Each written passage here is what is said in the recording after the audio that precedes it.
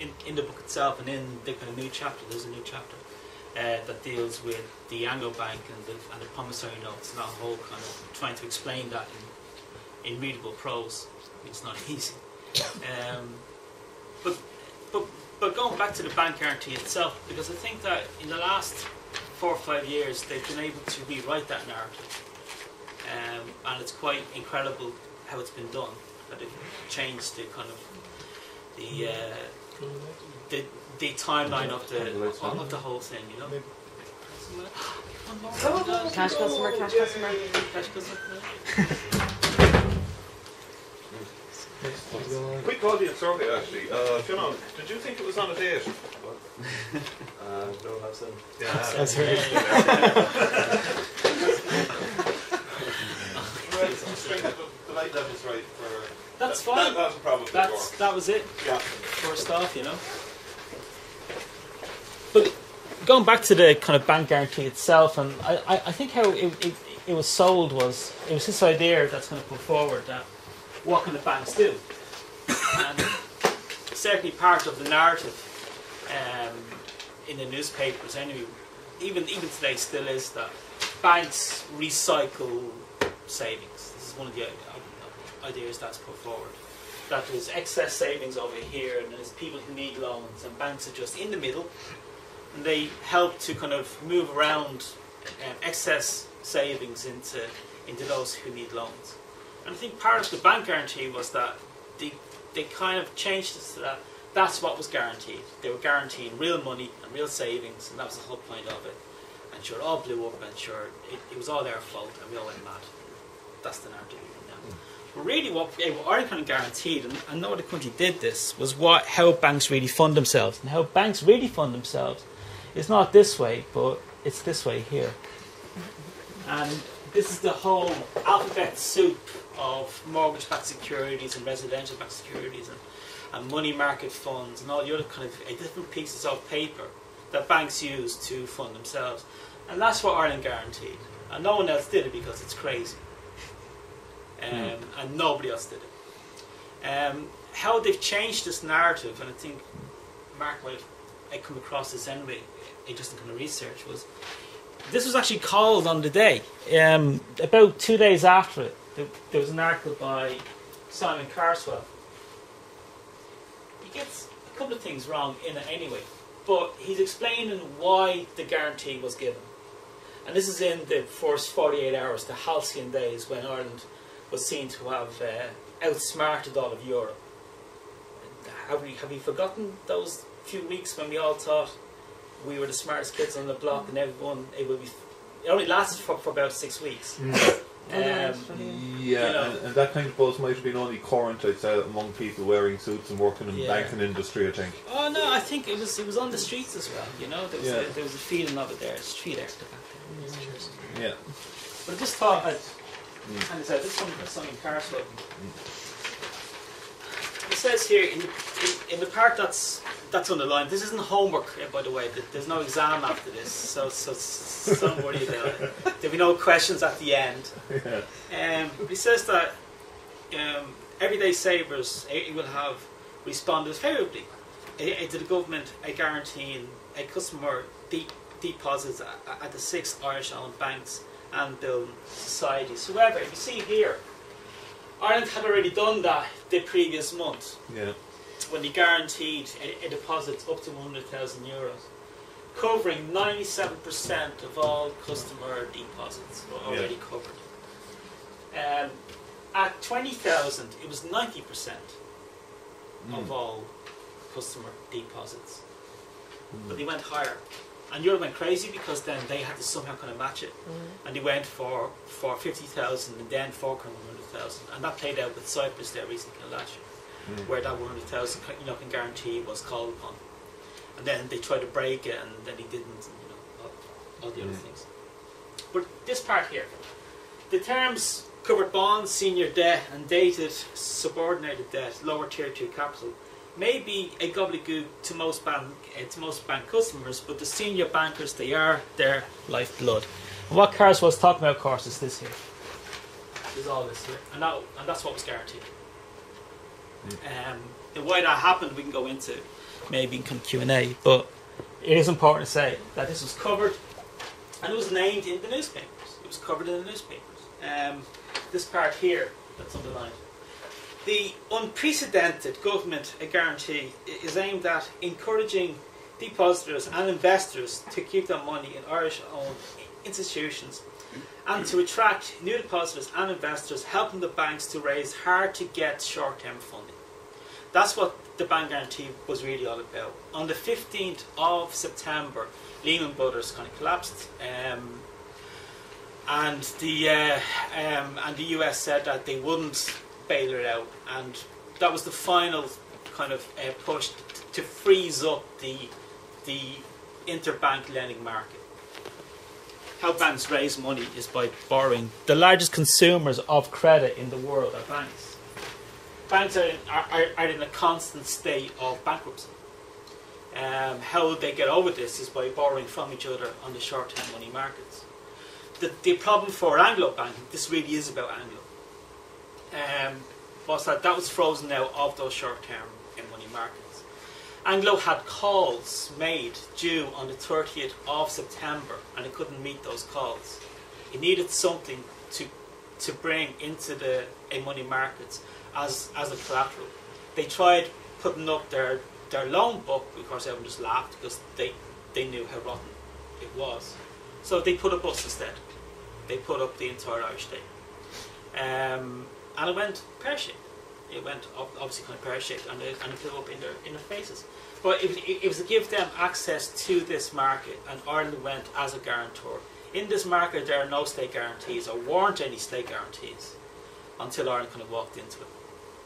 Um, that plays out in a 2010 because Ireland, when Ireland gave a guarantee that went into the interbank i- lending market, the the the the kind of um, strength of, of the Irish state now merged with the, guarantees that were given in this system.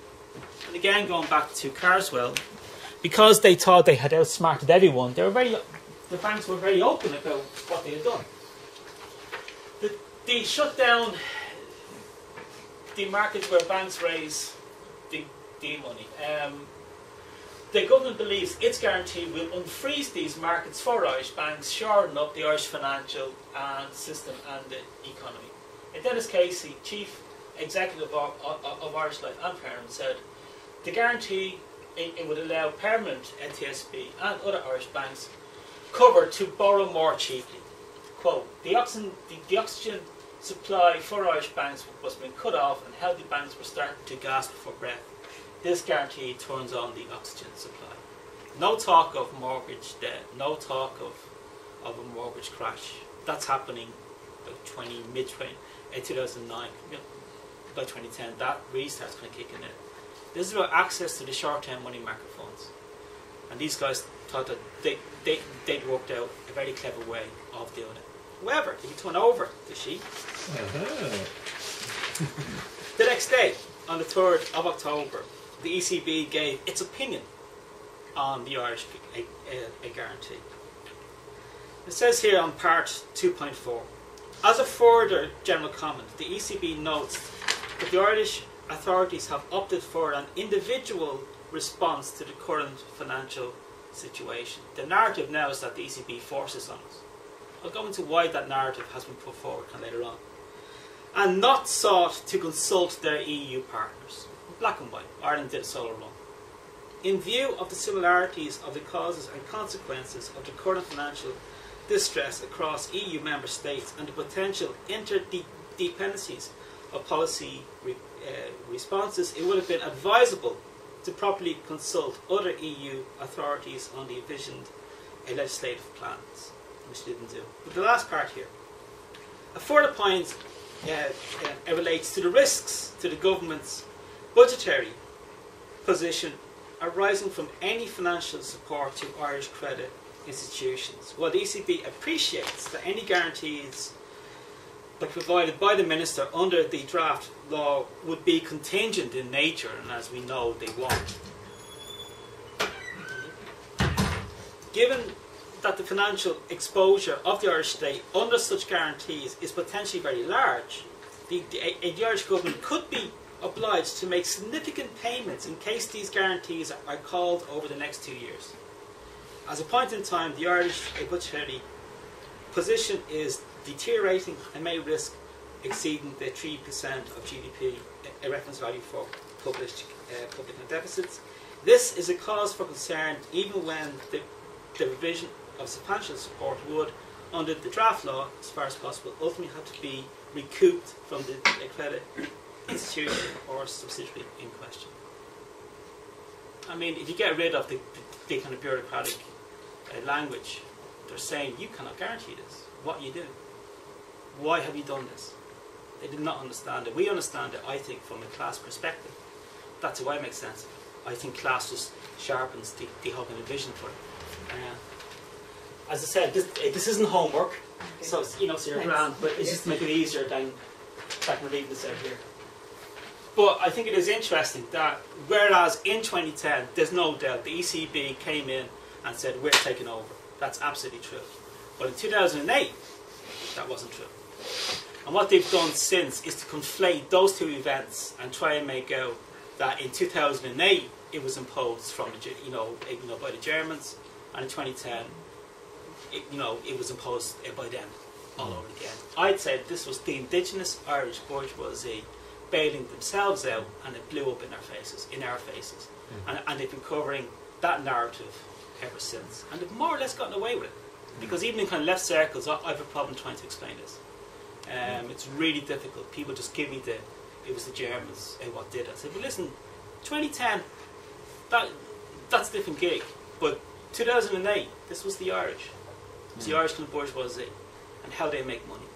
And that's the last part of the of the talk is to try and explain that because hopefully I do a good job in the 80,000 words here. So I'm not going to go through all the 80,000 words, but just kind of make that key point. What I'm trying to do here is sketch the contours of that class, how they operate, how they make money, and how they, um, you know, how they have carved out. Um, they have carved this country in, in their own image, and what a sight it is to behold. For sure. So, getting back to what are they trying to protect? What is what are some of the things? Well, part of it is the meat, is the is the is the area that the EC, the Irish bourgeoisie have carried out for themselves in the global eh, financial system itself. Anyway, uh, this is Ireland's empire. Um, 2.5 trillion in, in assets, right? Um, 167 uh, countries. There's around 2.5 trillion in assets under administration in the IFSC, shorthand for the Irish Financial Services Centre. Um, it's not just in the, the Docklands anymore. There's one branch of it on, on South Mall. Uh, but it's mainly is still based up in Dublin. Um, now it's under administration in Ireland. It's not under. It's not under management. You need to get someone. Oh, you're dragging someone away. Please don't. Forty percent drop off. Um, it's under administration in Ireland, not under management. Those funds are, are under management somewhere else. It's under administration here for tax purposes. Part of how this kind of bourgeoisie makes its money now is by facilitating uh, tax avoidance on a global scale. And they've carved out a niche for themselves in certain aspects then of that. This is from the Irish Funds Association's brochure into into Ireland because nobody looks at this. Um, as you know yourself, I mean, no one really looks at this. They, it is incredible how open they, they are on their websites about actually what they do. Um, if you go into the, the website of the main kind of law firms who deal with this, they will give you in very clear prose how to avoid tax using Ireland's tax laws. Uh, because it's all legal. It's tax avoidance, it's not tax evasion. It's all legal. Um, so what does this mean by having this empire here, this this 2.5 trillion? If that was a GDP, it's it's larger than the GDP of the UK, and it's administered by about 24,000 people. So, um, if you look here again, just looking at that aspect to it, this was recently on 22nd of, of Feb, uh, 2013, NAMA announced that it plans to develop significant additional office space within the Dublin Central Business uh, District with emphasis on the Docklands area. Now I'm going to use the phrase the IFSC for that. It really isn't. It's it's not technically that the, the IFC is, is just three or four streets in the docklands, but it's used as a shorthand for that whole area, for the financial aspect to it. But they're going to give two billion, and what it is is that they're going to give out loans to people to build new office blocks because no one else really wanted to, to kind of build. It's two billion, and it's like much needed new office space. Well, that's all, well, I'll, that's only down the road. It's all. So I'll have a look, and I'll see what's in there. So recently, I went for a walk around the IFSC, and uh, this is the AIB I- I- International Centre. As you walk out of like Busáras from Go Bus, you'll see this kind of facing you. It's a big kind of two let sign on it. Um, there's some more there. That it does a side image there, just for the 3D version. Yeah. Um, there's more offices here, like that are to let. Here's the IB Trade Centre. That's for to let. Uh, this is next to the Luas uh, station. That's to let. Um, that's on the side of it there. Uh, that's another one just down from the IB Trade Centre. It's it's uh, Latouche House, and there's offices there as well. Um, these are down by Five Harbour Master Place, and I'll talk about that one later on. Then Declan Security showed up and they tried blocking me. And he said, hey, You can't take photographs here. And I said, "I'm I breaking the law? He said, Yes. I says, Well, I'm breaking the law, call the guards. And then he didn't and says that, that they didn't want to call the guards. But then they went on again and then he, you know, he, um, he, he got his mate. But I did get into something. It's a bit blurred, but I did try. Yeah. You know, under kind of circumstances to, to, to try and get kind of photographs over there. You It know? shows action anyway. Yeah, and then there you see, look, look at, look at that. I got, I got, I just got down there as well. So thank God. But he was, he was on the ball here. He was, you know what I mean? He was, he was, he was, he was very sharp here, right? And then he told me where his jurisdiction ended, which was on kind of Common Street, which is where the actual legal IFSC area kind of stops. So he said, "This is now outside of my jurisdiction." So I said, "Okay, grand." Carried on. So here's more empty spaces. Here are more uh, down by the Anglo uh, Shell. And then here as well. Here's one. And then I just gave up. Just thought I, I can't be arsed walking anymore. Um, but they're going to give uh, two billion to build more office spaces in, in, in that area. There's around 21% vacancy in, in office space in Dublin at the moment. That is one in five. Or sorry, one fifth because it's on kind of square meters. So one fifth of, of the square meters of, of office space in, in Dublin is like is is is currently vacant. The reason why they they want to build new buildings is not for the buildings, but for the tax breaks that come with them. And that's the difference. If there's a way of kind of seeing it, is that um, when we think of property, we probably we probably think of shelter. You know, um, when finance thinks of property, they think tax shelter, and that's the difference. You build the you build the building for the tax breaks that come with it. That's what you're building it for, and also for the potential income streams which may come from it, which you can then monetize and send into to kind of special purpose vehicles all around the world. Now they don't really need office space, and I'll show you why now. Why they can have. Now remember, there's 2.5 trillion under administration, and there's all this kind of em- empty office spaces. How is that possible? Well, uh, this is five Harbour Master places. You walk out of the rear of the Connolly station, it's just on your left. Um, there's around 728 uh, companies uh, registered in five Harbour Master Place. Um, what this is one of them. Sitara Finance Limited. And it's registered here under the secretary, and the secretary is Deutsche International Corporate Services. This is this is one of the services which uh, Deutsche Bank, a offshoot of Deutsche Bank, that's what they sell or offer in, in, in Ireland. If you want to set up a company, a register a company for tax purposes in, in Ireland, they'll handle all the paperwork for you. They'll tick all the boxes for you. And one of them is to have at least two directors who are resident in Ireland, and they'll provide as part of the service. Mm-hmm. And, and one of the persons who who, who does this, um, not to pick on her, she's just working in an office, right? So I, I, I always feel bad kind of highlighting Emer, but I mean she's just working in an office here, you know what I mean? Like you know that's part of our job in like Deutsche. But but but, Emer here acts as a director for companies. That's part of her remit for Deutsche International Services. And the companies that she is that she is a director for, if you go onto the company uh, registration um, um, office kind of database, It's um, what's that one here? Oh, I've I've gone back. There's all of these here. What was the figure you gave earlier? How many did you say? Did you say Seven hundred, at least. Well, I found seven hundred and uh, and twenty-eight, and that's and that's not even really with trying, if you know what I mean. Um, there's at least that number, uh, but she's she's director of all these companies here, and here, and Must be here, meetings all So day. this is like an official scout. yeah, and here, and then she's a past a director of these ones here, and here, and here, and here, and then we go back to what it's all about. Um, it's about tax avoidance, really. That's what it is. So he set up all these companies, um, but they're here just to avoid tax. Those who benefit from that system are those who know how to handle tax claims, who know who can who, can take your hand and walk you through the labyrinth of Irish tax law. So the ones who can do that, of course, are the accountants and, and the law firms. They're the ones who do it. They've got local knowledge, and that's what they trade. So if you want to avoid tax, then you talk to us in, in, in Ireland. They make millions from it, absolute millions from it. And they're the ones who, who lobby government about all of this. That's the indigenous Irish kind of bourgeoisie. It's not directly linked eh, with the bank guarantee itself, but it's part. It's one part of how this kind of bourgeoisie class, or comprador cla- class, as, as, as, I call them, how they have operated.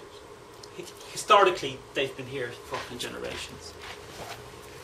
Um, this is uh, Five Harbour Master Place itself, an indoor shot. I didn't go in myself. Um, this, this from Daft IE, it's actually up now at the moment. This is the second floor of Five Harbour Master Place. It's for rent. 728 companies. The second floor is empty. Look at it. I mean, like, doesn't it just scream entrepreneur? Hmm. You know, doesn't it just bleed it from you. It doesn't just see from its very Where's the whiteboard? This is it, you know. It's very, hopefully he's like standing behind it, you know. I mean, of all the pictures which you have as the first one, here's the, it's the one foot on the cafe in the canteen here. You've got this, you know. Thirty-six thousand yearly. Because in Ireland, if you pay rent at this level, it may be tax deductible anyway. So who cares how much you, yeah, you, uh, you know, you're charged. If you're a certain company, if, if you can avail of that, you can write off tax as a, as, you know, rent as a tax write-off anyway. So who the fuck cares? You know? Uh, and also, well, I suppose it's a barrier to entry as well, too, uh, for people well, who are for people not like rich me. enough to pay the yeah, same. yeah, Or, pe- or, or, Yeah. or, or people like me yeah, opening up an office in Five Half Massive Place and just having some fun. you know? yeah. Um, but that's it. So Yeah. even with the 728 companies at least, uh, Emer, who again I, I, I don't want to pick on, but I mean it, it, it, it, it is part of my job. Perhaps a director of very- about kind of 200 companies. Perhaps she trod those very carpet tiles. Every one of these companies is put forward as the government as foreign direct investment. You know, again, we'll just like kind of touch on how that works about foreign direct in investment. I don't have the this slide here, but the largest single source of foreign direct investment into Ireland is from. Where do you think it would? I mean, f- like from the newspapers, they would lead you to believe that it comes from where? FDI comes from where? From which country? America. Yeah, I mean, this is the narrative, isn't it? It's, it's, it, it's, it's the US. It comes from Bermuda. That's the largest single um, source of FDI into Ireland. Ireland also is invests. th- There's money that's in Ireland that's invested outside of Ireland. The largest single recipient of investment from Ireland. Where do you think it is? Cayman Islands. Bermuda. ah, I picked the wrong place. Yeah. Yeah. It comes in, it's washed of its tax, Yeah. goes straight back out again. You know, and though and nobody does this for love. This isn't a hobby. If you're watching it, it, that tax, it's all fees. And you're talking millions. That's the industry. That's the, the kind of cottage industry in, in, in, in Ireland, and it has a grip on on national economic policy. Um, but here we go. As to where this thing about how this has all happened, how can all these trillions flow into Ireland? What's happening here? But this is from the Financial Times. I strongly uh, recommend people reading the Financial Times. Read it for gist. Just start reading it. It's like learning a language where you start reading it and you pick up certain verbs and words, but then suddenly you start getting their language because they, they do have their own language per se, but once you get a sense of it, it is incredible. It is incredible how to see how they see the world. Um, it'll take a while, same as learning a, a language, but, but once you see it, you'll always see it. So I was reading as always, and, article here from a journalist, an American journalist writing an opinion piece in the Financial Times called, his name is uh, uh, Christopher Caldwell, and he's talking to March about how the, the Dow Jones Industrial Average rallied beyond 14,300 points last week, passing the highs it reached in 2007, just as the world economy was starting to wobble. But he's asking if stocks and share, you know, if the if the index is at this really high level, highest level almost ever, where's all the exuberance? Where's all the jobs? Where's all the activity that should come with, you know, people saying, well, all these companies are doing really well? He says that, well, part of the reason why people feel or get eh, less giddy about the Dow than did five years ago is that they've learned a bit about inequality. What looks like a recovery, a rally, or an increase in consumer confidence may just be the effect of elites passing money among themselves. Going back to Ireland again. This image here, I would love to say this was mine, but it's not. This is from a law firm. Um, and this is this is from their brochure on a on SPV on special purpose vehicles and how to uh, use them in Ireland for investment purposes. Uh, it's from Arthur Cox. This this is their own image as to what Ireland does. It's incredible. It's like I always think of that of the monologue from Bill in Kill Bill, where he says that Clark Kent is Superman's image of what humanity is is, is, is like. But this is, I think, kind of Arthur Cox's view of, of their view of what Ireland's role is and what Ireland is. Assets come in, washed up their tax obligations, straight back in. That's Ireland's role in this in this whole system. Um, so putting it all together, what looks like a recovery, a rally, or an increase in consumer confidence may just be the effect of, of elites passing money among themselves. In that world system of elites passing money among themselves, Ireland has carved out a niche role in that. It's not for every kind of tax avoidance, there's only kind of certain aspects of it. Each tax haven has its own niche, its own special powers, if you want. It's like the Avengers, you know? Each one has its own power. And Ireland has its own special powers. And it's mainly around uh, money market funds and uh, special purpose vehicles. And uh, and UK and UCITS, the um, it's a it's a it's an EU investment uh, fund um, uh, architecture, and that's really kind of Ireland's niche in all of this. Um, oh, and and the big one, of course, is uh, is patents and, and, and, and royalties. That's Ireland's really big one. Um, patents and royalties, payments for patents and royalties in Ireland are tax de- deductible. So if you take Google, Google Ireland is, is a company that's based in, in Dublin. Google Ireland Holdings is an Irish company that holds the patents on, I think it's the Google search engine uh, um, algorithm. I think it's on the like, the, like algorithm, but it, it, it, may be on the kind of the dynamics of the search engine itself. Now, both are Irish companies, but under Irish tax law, you are you can be registered as a company in Ireland, but for tax purposes, you're taxed where your management meets. And the management of Google Ireland Holdings meets not in Dublin, but in Bermuda. So, so under one arm of the state sees it as an Irish company, another arm of, of, of the state for tax purposes sees it as a Bermuda company. That means that when Google Ireland, when Google Ireland Holdings then charges Google Ireland for using Google search engine for making money, that charge is tax deductible.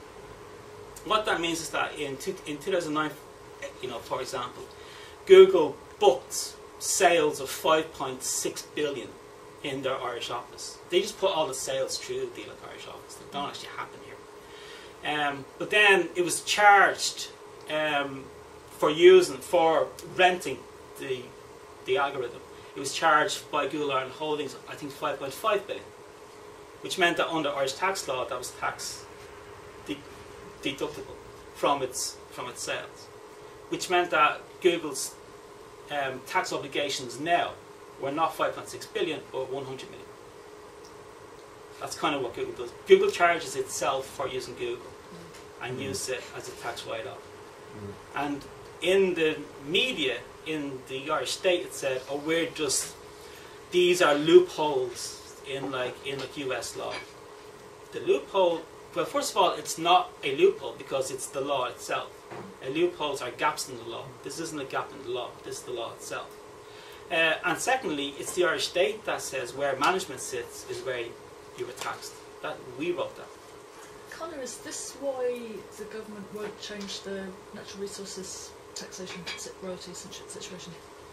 I don't know. I mean, that's a short answer. Yeah. I, I, I um, just have you any knowledge on that, Rod? Or um, no, I, I, I, I Because really it's starting to make sense, because it just Yeah. seems mad, like from every point of view, from everybody, you know, even from financial people, it just like doesn't make any sense the fact that you're not going to charge you know, oil companies anything. But if this starts to make sense, if that's if that would yeah, first one in the works for I really don't know, Yeah. and um, and there may be it'll cross over, or there mightn't be. Yeah. The, the short answer is that I haven't really kind of looked Or it could be into it. something similar. There's, there must be a payoff to them. There must be a huge financial payoff to them. not- It could be, yeah. Well, you know, I mean, someone's making money from it, but um, where this class tends to make money is in the backroom operations. My suspicion Yeah, is that that's where people are getting paid, is handling the, the paper. But again, I don't know. It may be worth kind of chasing, it, you know. Um, but the, the answer is that I don't know. But the pharmachemicals, I use it all the time as well. Hmm. So I mean, all the all the pharmachemicals will charge them, themselves for the patents Yeah. on the you know on the drugs, and then that's that's tax write off in, Mm. in, in, in Ireland. You know. I'm just wondering, is, uh, I mean, the you know the transfer pricing thing that multinationals used to do here. I mean, that's in the same flavour of thing. It's the same flavour, yeah, yeah. I mean, this is another. I mean, this is Ireland's niche. You know what I mean? Yeah. So the whole point then is that you make the law so complicated that only you have the knowledge to to bring foreign companies to it. Mm. You make yourself important as a Mm. lawyer. That's part of it as Mm. well. You have to make yourself in, in, important. Hmm. You know. Sorry, the kind of frivolous question, but No, no, good. uh, is the Arthur Cox diagram there? If you imagine that as a kind of a machine or a process, you know, I'm just trying to imagine, you know, what sound does Ireland make when it, you know, when it actually turns those financial, in, you know, yeah. through the, the Bangalore to the investors? Does it involve traditional music or something? Oh, I don't know. on the sound of it. Yeah. Danny Boyd say, you know. Yeah. Um, and this is uh, this is part of the reason why we have these type of, of, of headlines. Exports hit a record high of 182 billion because they've added in uh, uh, financial exports into this figure as well. This isn't just goods; this is services as as well. Mm. So, so they're adding these exports into the overall figure. So that's why it can look like exports are at the. High, I mean, this is higher than anything during the Celtic Tiger years. Hmm. Um, but this is the this is what we see. One in five shops are lying empty as retail crisis deepens. And the interesting thing here, of course, is that one in five shops empty is, is seen as a as a crisis. One in five office space, or one fifth of office space empty, is saying, well, let's build more office space. No one's saying the a solution here is to build more empty shops. You know what I mean?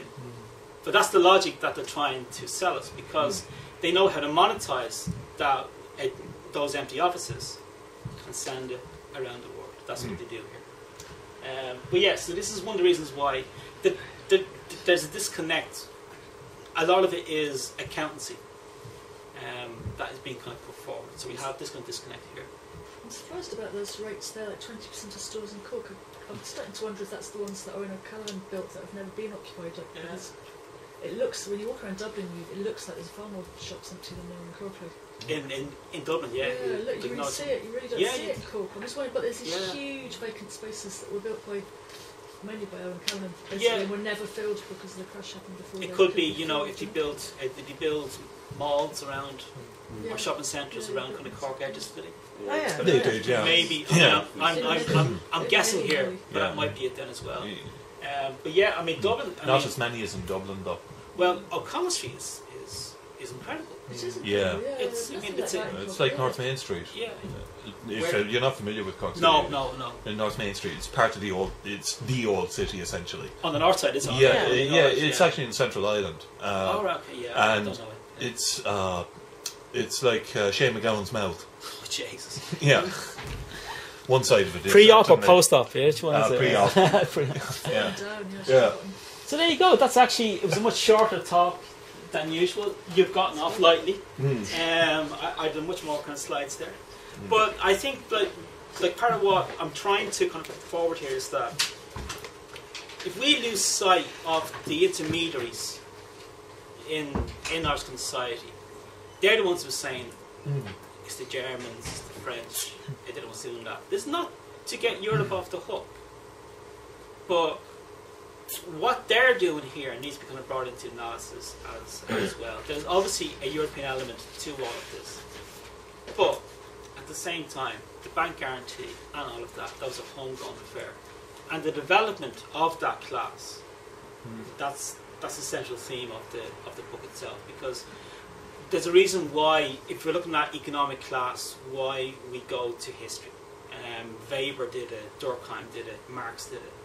There's a reason for that because history gives you that canvas to allow you to observe deep social economic forces in motion.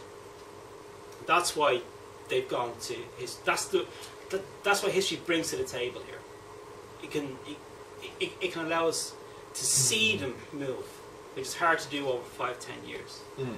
You know, and that's why and that part of kind of political economy, of course, has been lost over the last kind of 20, 30 years. Really, I mean, well, it's more it's it's stronger in the in in in, in, in like Europe than here, but here it's not. Here it's all who shot Collins. You know?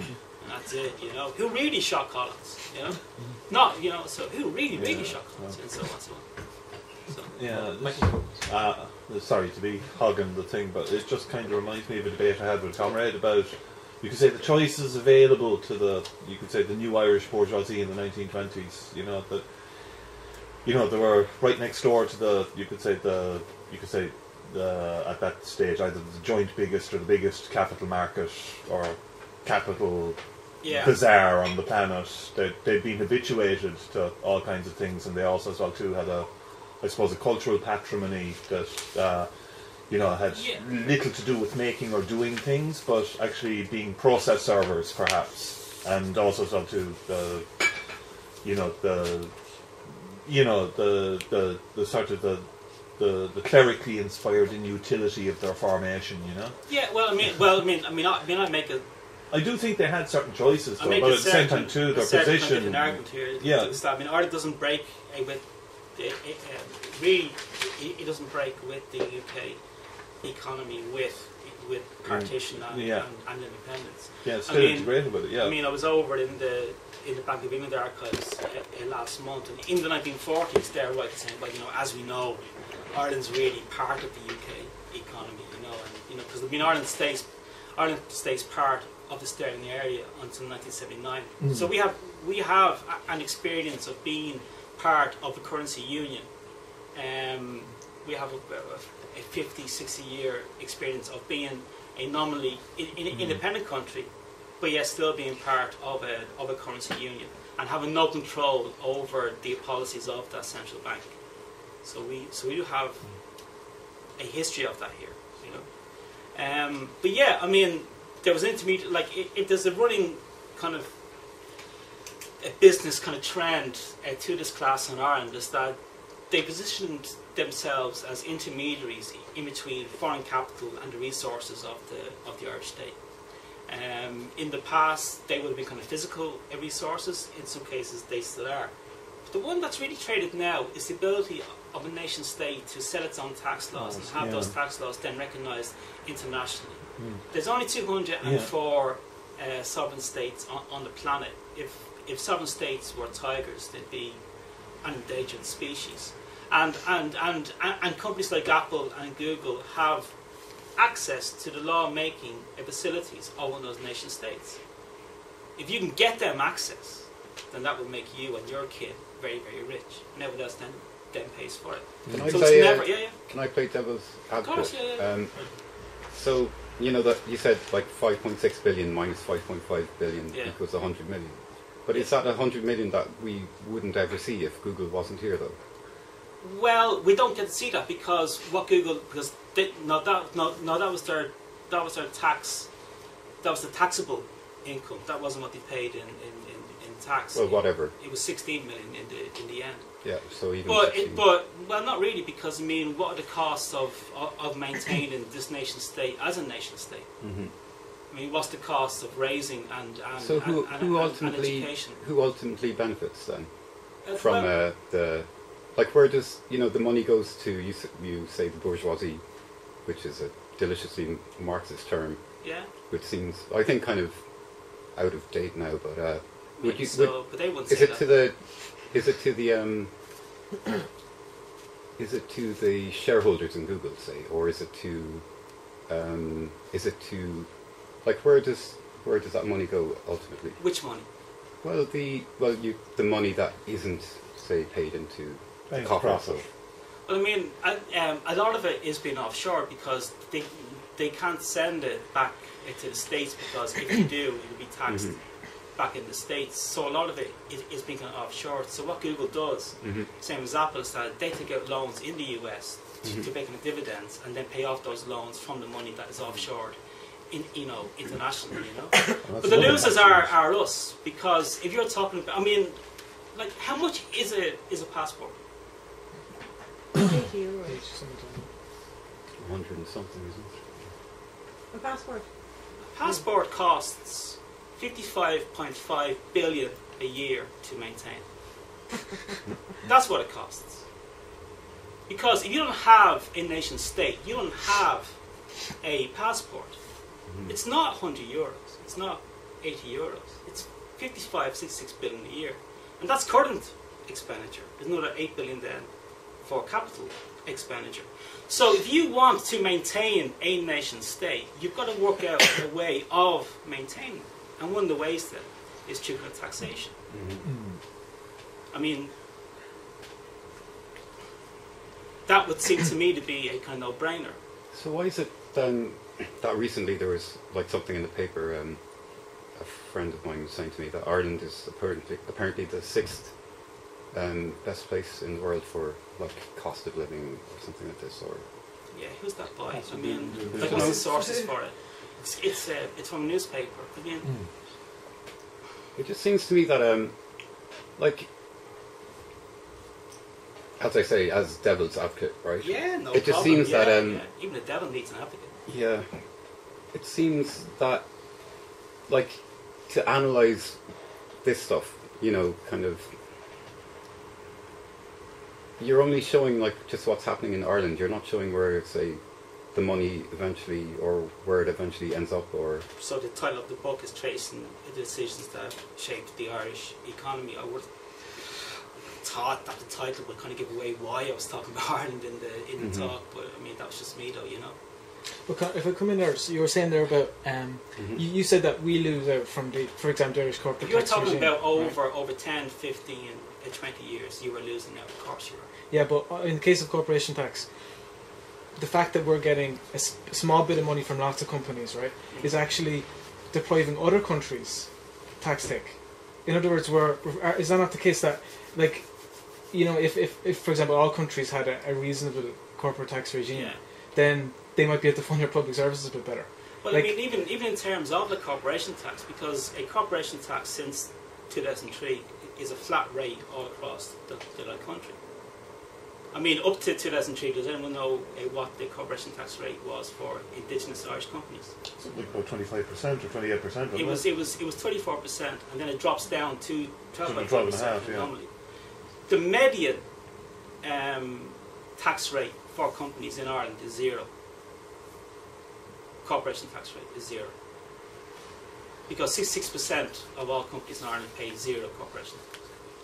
Um, in, because it's not just about, it's not one rate for foreign companies and then one rate for Irish companies. So in 2003, Ireland had to get rid of its special status for IFSC type companies. So instead of raising it up to the rate that was across the, country, those companies got a 60% uh, tax cut overnight. Secondly, people set themselves up as corporations. So you have kind of professionals who get paid as, as, as companies and then claim the corporation tax rate. So you have like Marian Finucane, who would be one. Um, who's the one off like prime time again? Miriam McCallaghan? And no? Miriam O- O- O'Callaghan, whose, whose, whose company's called Baby Blue. um, Tubridy. and Tubridy has one as well, and they're just examples. So- Pat? s- yeah, yeah, Pat as well, and then you get into the Jim Power, you know, he was a, you know, you know, who's an economist, we're Is talking that what he's about- calling himself these days? yeah, yeah. and he needs then to kind of, you know, he'll come on and talk about, you know, Ireland's kind of local, local corporation tax rate. He's set up as a company and has a vested interest in this. Hmm. So even having a debate about what tax should be in this country is very hard to really get get into that kind of a debate because it's always put forward as corporation tax means that. Yeah. And I go, no, no, no, no. Yeah. It, means the law firms who run the sale model. Yeah. If they're set up as like companies as well. So we're losing now in, in terms of that kind of tax take as well. And, we- and, and we know that from the figures, you know. So I mean, it, it's it's more than just Google. It's Mhm. more than just than what's going on there. I mean, even in terms of of like of like foreign companies in Ireland, there's around ninety eight thousand people working for foreign companies in Ireland at the moment. There's two point two million in the in the workforce. There's one point eight nine million who are working at the moment. So to make the argument, as the newspapers do, that Google Dell, these are the ones who are keeping the Irish economy afloat, and they're the ones where growth is coming. To make that argument means then saying that of the 1.89 million who are there, you know, there's around what 1.8 million are doing nothing. You know what I mean? You know that that that that has to be neutral in order for this to be such a huge kind of benefit. That just simply doesn't make sense. What actually keeps this country going is the is the is the 1.82 million, 8.4 million who are who are paying tax all the time. It's we subsidise those 98,000 jobs, and, and the reason why we subsidise those 98,000 jobs is not for the jobs themselves, but for all of the tax work and all, all, all the paperwork that comes with it. That's the cottage industry that's kind of built around it. That benefits, yeah, that does benefit parts of the of the country. It benefits parts of, of, of Dublin. It benefits parts of Cork, parts of Galway, parts of Kilkenny. There's a niche like Kilkenny, but that's really it. So in, in, in terms of actually having a national tax policy and a national economic policy, it's very difficult when it's all focused on one regional kind of policy. It doesn't make sense to me. doesn't make sense. Maybe it makes sense to, to, to other people. To have a national economic policy run as a regional economic policy, but it doesn't make sense to me. Well, I suppose it's a bit like the you know the, the national newspapers. You know, up to a few years ago, you know, giving ridiculous amounts of coverage to the Leinster Senior Schools Rugby Cup. It's it's a, you know to a degree it's a class thing in that you know the employment policy of the Irish state is to make sure that people from good backgrounds have jobs to go to and good ones, nice, nice intellectually challenging, process-serving jobs. Um, so, what would your um, solution to the kind of the um, the tax system be then? But I mean, it, it, it, it would mean kind of, you know, um, it, it kind of looking at the, at the kind of tax system in, in, in, in Ireland. It, it would mean kind of looking at wealth in Ireland and, and actually kind of measuring wealth uh, for a start. There's no measurement of wealth in, in, in Ireland. hasn't been one since 1981. Wealth is not measured in this country. We measure income.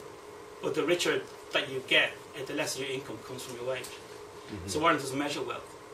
So, I mean, part of that then will be part of it. We do know that's around 60 billion in Irish source assets in the IFSC, and we don't know actually what they are. So, in terms of like of, of the capital gains tax that at the moment runs at around half a billion, that's that's kind of that's kind of coming in.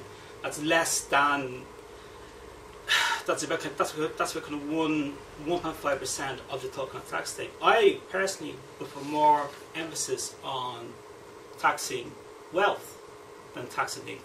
That would be my thing to actually force that money into circulation. And those money flows, though, that you were kind of pointing out. Oh, Okay. just kill them. They are just bloodsuckers. You Yeah. know, and that's and, and that's just not in terms of of Ireland as well. I mean, this is a debate that even kind of Europe has to have. That you know, I mean, capital controls have to kind of thought about all over again. You know, because I mean, having money kind of sloshing around is highly destructive. George Soros has a has a really good analogy about this. He uh, he compares all this flows. Mhm. He compares them to um, an oil tanker, and he says that in like oil tankers there are compartments every so often to stop all the oil sloshing around because if it does, it's like kind of stable. So I mean, John Soros, I don't know whether he's a Marxist or it's taking the bourgeoisie. I don't know. I mean, but you know, maybe he would. I, I do know that for the class analysis, you will get that from the Financial Times, that they will talk about uh, inflation as an arena of class struggle.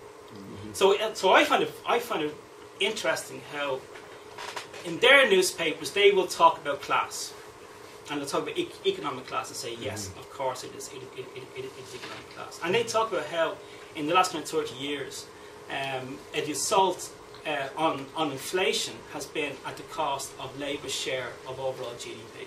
That's been the, the kind of cost of it. I, I mean, know from historical, you know, um, analysis that when you have such in, uh, imbalances, that leads to s- systemic instability, and that's what you know we're kind of seeing now as well. So tax actually even serves a leveling kind of function in, in, in terms of an overall economic kind of strategy. But that's not how it's seen now, because it's seen as just me and, and the individual. So I mean, all these arguments have to be kind of taken on board, I think, you know.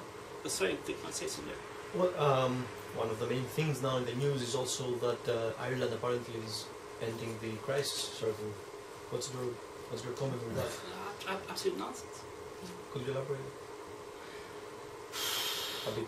Well, I mean, I mean, uh, if you're if you're talking about what, I mean, if you're talking about They say it's the last. job, Uh, uh, well, they just said it's the last um, uh, deposit from the ECB, yeah. a few billions, and that's it. Then, they, then Now Europe needs the EU and eurozone needs a success story for austerity, and Ireland is its best bit, and they're just they've been cooking the books big uh, big time to try and kind of make that out. I mean, I don't have the breakdown of the of of the figures now, but there's a group in Austria called Attac Attac Austria, he was in touch with, and they've been doing a breakdown of the of the payments which Ireland has been making, and they're saying these don't make any sense to us. Ireland's paying not just the troika back, but they're paying eh, you know, but it's payments coming from Denmark, from the UK, and then from the troika as well. And it's not. This is all.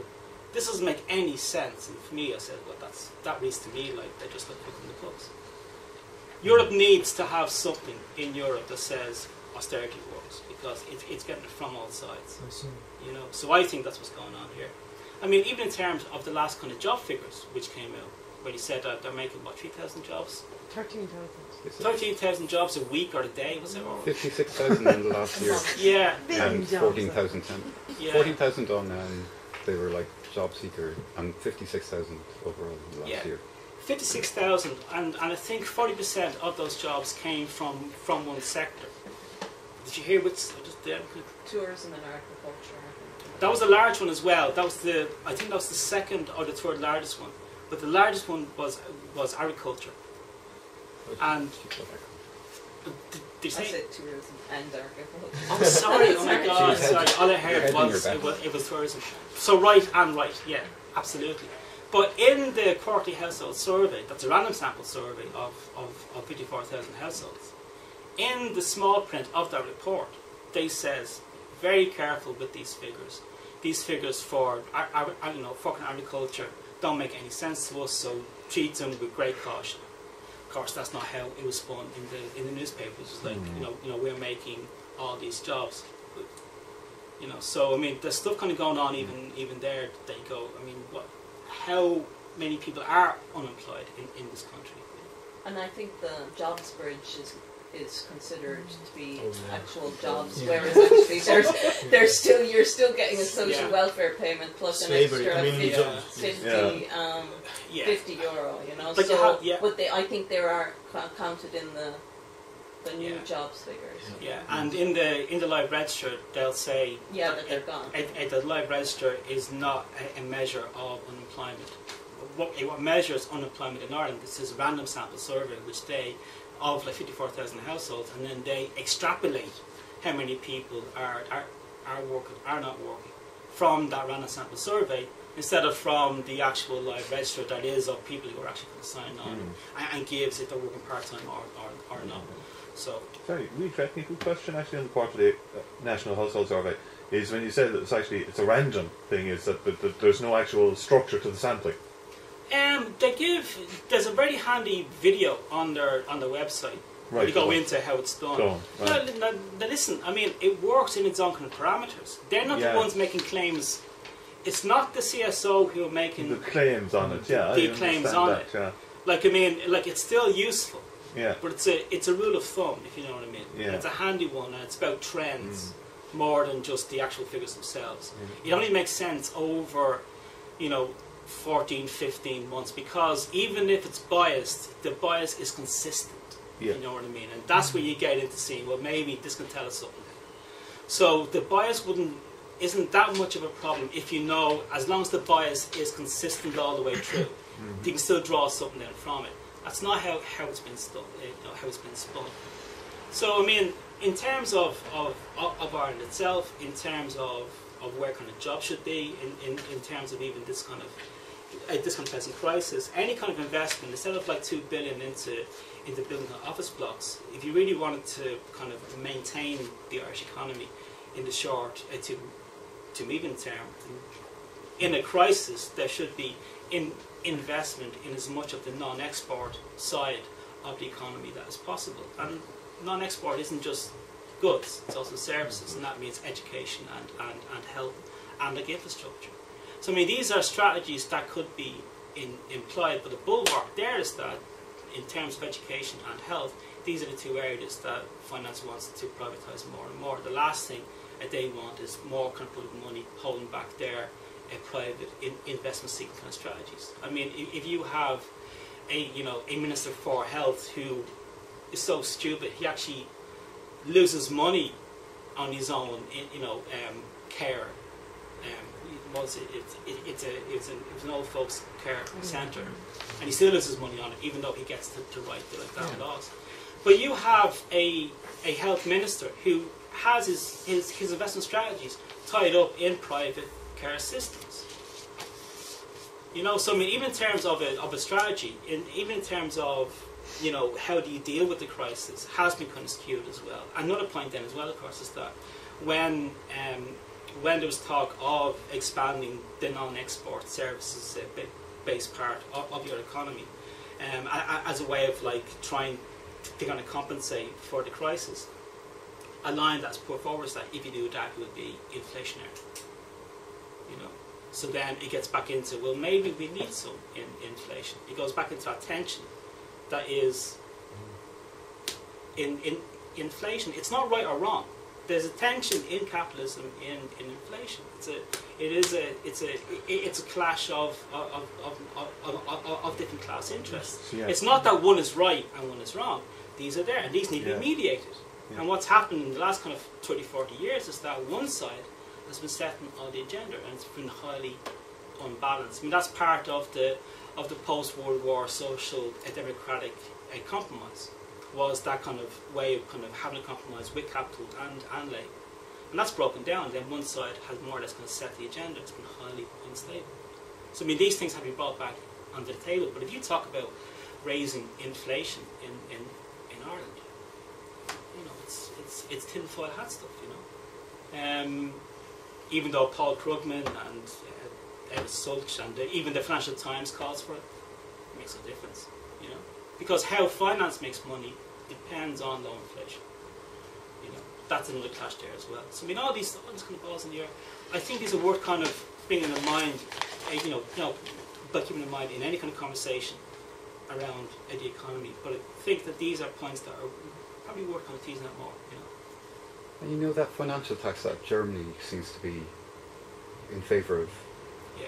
pushing through, but um, Britain seems to continually um, be opposed to because Yeah, they. it's the financial transactions tax. Yeah. It's a big thing for Attac as well. It's a big kind of push for this as well. Um, why? I mean, is it because Germany doesn't rely so much on the financial services that they see this as a, a beneficial thing?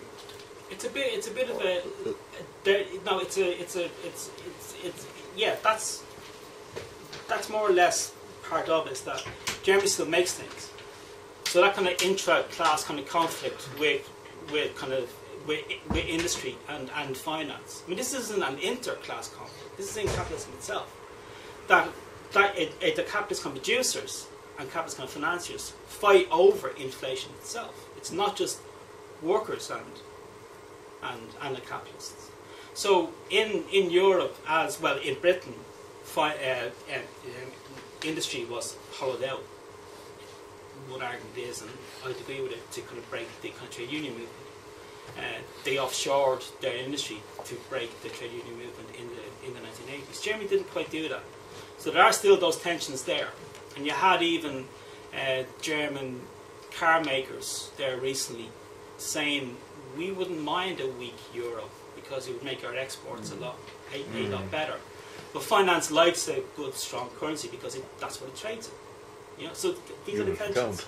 and these need, and these need to be kind of mediated. So that may be kind of part of it. I am hearing though that uh, the lobbyists in, in, in Brussels have had their have have gotten their hands on the financial on the financial transactions tax and they've more or less you know, emasculated it like so much that how much in, in you know how much punch it would have now is probably under is, is probably a, a kind of point. But that is but that is part of it. That Germany still has that kind of tension. Though, though having said that, Germany's uh, its its industry is more kind of high tech, and high tech needs finance. So there is more of a of a of a confluence with with high tech and and and finance than there would be with kind of heavy industry. High tech needs the venture capitalists. It, it needs that finance. It needs all, all, all the kind of turnover. So there's more of a marrying at that end of it than there would be in in, in, in, in the other parts of it. But the tension is still there, and I think we are seeing them parts of it. Also, there's probably a a, a, a higher criticized uh, population on these issues in Germany than would be here. I mean, why anyone in Ireland would fight for low corporation tax when it's their children who have to, to emigrate as a, as a consequence of it just baffles me, you know. But that's what happens, you know. You know what I mean? So, I mean, like, there are kind of issues there, like, played out. Um, would you know if Ireland is uh, currently part of the uh, European Stability Mechanism, ESM? Yes, it is, and, and, and, and Ireland has to pay for it, and, and so is Portugal. So how? Oh, no, actually, no, we're not, because of the, of the bailout, we were actually taken out of it then. I see now. Okay. But we had kind of paid into it. So I think after December, we're probably going back into it again. Well, after the, Oh. like, like 15. I don't know, though. I mean, I, I, I kind of, to, to, to kind of check that. I kind of looking. I, Yeah. I, I was kind of looking at it, and it appears to be like a, sup, a form of superstate that actually devours states that make the mistake to sign to be part of this stability mechanism plan, because they effectively they take the full possession of all the Oh, sorry. Oh, that meant, yeah, I mean, Ireland is a member of that. I mean, Ireland passed the a, mecha- yeah. a, a, would- a constitution for it, you know. It, it, it, it, it changed. It's, it, it's, it, it's the constitution. Oh, is that the For last the- referendum? Yeah. Yeah. Or That the second the- last from That was the this. austerity Yes. referendum, which was insane. Saying that we're going to keep kind of budgets at three percent and zero point one percent. You know, this is madness. Mm. Absolute madness. Um, Yeah. Can I ask a question? This is in relation to Ireland now, but it's in relation to the the EU US trade agreement that's being worked on at the moment. I, I've been reading up a little bit about this thing about investor protection. Uh, would you, can, you, can you tell me a bit about it? As far as I Don't know, forget it. again, I'm playing kind of catch up here as well. Yeah. But as far as I know, it's offshore co- uh, courts. Yeah. It's courts that have the, the full power of courts, but they're not based within any kind of nation state. It's extra, you know, it's extra kind of nation state kind of jurisdiction. And they can, and, and they the can override. class. They can override EU and and US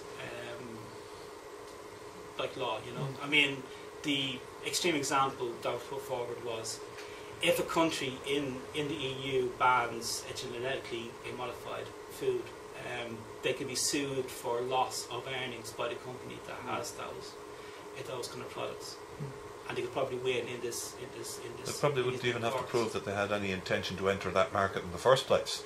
Yeah, so like you know, but Yeah. I mean, but that's I mean that's the more kind of extreme of it. But it is it is quite worrying. I mean, Yeah. George Monbiot in the in the Guardian has been writing an awful lot about it. And, you know, I I'm playing kind of catch up. Yeah, yeah. I, I don't really have my ball on it. But that part, as far as I know, is what it is. It, like like it's that like like these would be courts that would be able to override Yeah. anything that would have even this sniff of a democratic oversight. My my other question, European stuff was is in the wake of all the, you know, scandals about Apple's and Apple's corporate tax policies and all these co- companies avoiding stuff with their uh, whatever their ways of doing things. Um, there's Europe is kind of act, is being seen now to, to do stuff and promoting, uh, putting forward all sorts of proposals on reforming the system, blah blah blah. And Ireland, our the Irish government seems to be positioning itself as like spearheading this reform agenda of responsible capitalism, uh, you know. And uh, I mean, I presume I haven't actually looked into it at all, but I presume that there's nothing that would actually materially affect Ireland's No. niche in the market as such, or is there actually anything going to come out of it? Do, do, do you know what I mean? Well, I mean, if, if, if you take in the last budget, in the one there uh, in November, no, in in, in October, um, that Noonan uh, made a big point of, of saying that they were going to close the, the Apple uh, loopholes. Mm. And this is picked up in, in, in, the newspapers as closing the Apple loopholes. But the Apple uh, loophole that they were closing, it, it was the one that uh, that fell on the three Apple subsidiaries that are registered in Cork in the in the you know in the estate in, in Cork as companies in Ireland, but not registered anywhere on the planet for tax purposes. And this came up in the in the Senate hearings uh, in in May, um, and uh, John McCain and uh, um, and the other guy, whose name I can't think of now, they brought this up and said, "Are you telling us that for tax purposes you don't exist anywhere on the planet?" He goes, "Well, yeah," and uh, and then Ireland said, and they said in the hearings that they'd worked out this special agreement with Ireland. It was all okay. Then Ireland says, "Oh, we'd never heard of this," and no, no, no, no, isn't that at all? And there's nothing wrong going on here. And then they go and change the law anyway. So it seems that and what they changed it to was that those three companies have to nominate somewhere on the planet where their, eh, their management meets for tax purposes. So they'll pick, their, Antarctica? they'll pick they'll, they'll pick their. You know what I mean? Yeah. So, but then Noonan made a huge thing about this, and then the, the Irish Independent did as well about oh, Ireland is getting tough on on, on, on, Apple and, and the tax avoidance. It was just that one part of it. Yeah. That was it. There was nothing else. I mean, Apple invented the double Irish back in 1980. Apple has been innovating in you know, tax purposes in, in Ireland since 1981. You know, mm-hmm. and everyone else has been following Apple's kind of lead on this. Well, they are an innovative company. They are innovative. That is true. They Yeah. are indeed. You know. And I suppose as semiconductors go, I suppose uh, the Yeah, Irish yeah. tax authorities must be among the dopiest semiconductors Yeah. going. and you play and you and you apply around they employ in, in, in Cork it's around two thousand seven hundred people, but they also say four thousand Right. Really? because the company employs that branch of it employs four thousand people, but they're not all in Ireland. How many of them are in Bermuda? I don't know, you know. Even, even in Dublin, uh, like um, part of the of the of the law is that you have to have um, employees in in Dublin in order to register as a as a company. Someone actually here, and um, tax advi- tax advisors have been telling companies that um, that the Department of Finance will accept as employees in, in Ireland if you fly in for a meeting and have a board meeting in, in Dublin, then your employers you are employed at, at some point in the year in, in, in Ireland and you fly back out again. So I mean even in terms of the jobs that are here it's hard to know actually what's going on, you know. In, in terms of the crisis, or the ongoing crisis, um, do you see any chance of like fiscal transfers happening in the future? You mean at a at a European level? Yeah, like um, like if we were to stay in the euro zone and, and all that, and um, like, do you think that they will set up some kind of way of? Let's see. I think I think that was the game plan from the start. Any was that anytime they put a kind of a federal or united a Europe plan to the people of Europe, a real like one Europe plan. It was it was voted down, and I think what's been put forward is if you build the architecture of the currency, then we'll have to put in all these supports to keep that currency going. And I think that's what's kind of going on now.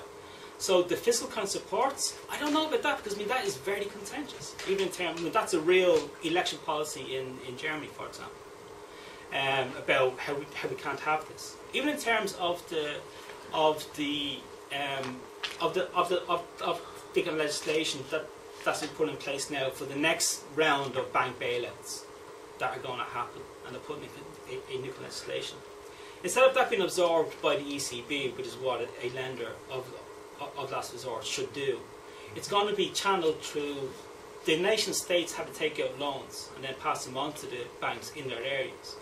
And then that's then channeled through then as well. So it still goes through the taxpayer itself. So whatever's being put forward, time and time again, it, it, like what I see is the interest of finance being covered at the expense of the rest of the, of the, of the population. So even if banks fail in the future, anywhere in, in, in Europe, it's up to the branch of the ECB, the central bank of that country, uh, to kind of sort it out. And how it sorts it out is by the government buys like credit to then bail out those companies or no those uh, those kind of private banks so that it goes onto the books of the nation state itself. So I mean, how far they'll get with actual fiscal uh, transfer. I mean, like it is a huge topic uh, in Germany, saying uh, you know having our taxpayers' money being transferred to to Greece or to Portugal. But isn't it preferable? If, isn't it preferable though then to the breakup of the monetary union though? Because wouldn't the you know? It- It's an internal tensions eventually lead to? Well, I mean, at, at the moment there are 27 countries in the EU. There are, and there are 10 and there are 10 currencies. 28 also. Oh, oh, 28, sorry. And there, are, and there are 10 currencies. So it's hard to know whether a failed currency that has been in crisis now for half of its, of its lifetime, um, it's only been for about 10 years now, and it's been in crisis for, no, sorry, since 1999. So let's be a bit fair on them. That was a digital one. Well, there's the so, um, so 14 years. the Oh, the snake, yeah. no yeah. no the, the um, Yaku, no? well the EORM beforehand or Yeah, yeah, Yeah. It's the, yeah, it's the snake Yeah. like that. But no, as an actual kind of, the actual one Unit of of- account, yeah. in one kind of uh, one actual kind of currency. It's been Yeah. not 99 and then like hard hard currency since like 202. since like 2002. By Yeah. 2007, it started hitting lows. So I mean,